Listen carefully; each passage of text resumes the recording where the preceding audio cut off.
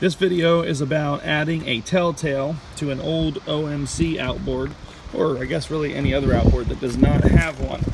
And on these old OMCs, uh, you have a couple locations you can choose from, but I choose right here. This is a 1970 Evinrude Big Twin 40 horsepower, and I choose to drill the hole right here.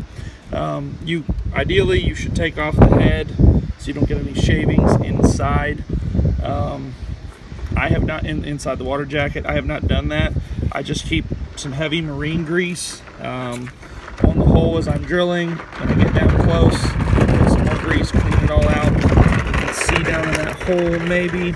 Um, didn't really get anything inside, so I'm getting ready uh, to use the uh, tap and die here. And I'm going to go ahead and thread this out. I've checked this on a piece of aluminum uh, with the fitting that I'm going to be using. This is actually off of another one that I'd already done this on, so this fitting's been in use for years. I'm just moving it over to this motor from my parts motor. Um, but I will be putting this in. I double checked everything on a piece of aluminum that I had laying around the garage because you really don't want to make a mistake.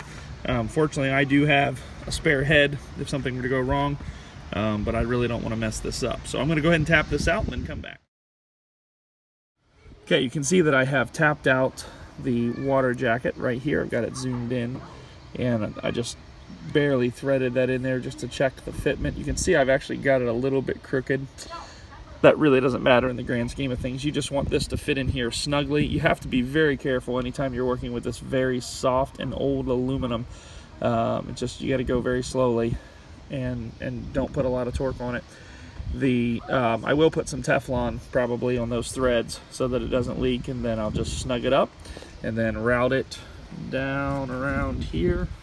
And then when we put the cowling on we'll show you a picture of that. So so it looks like we have success. You can see the water is pumping out um, of the tube and down to the hole in the cowling.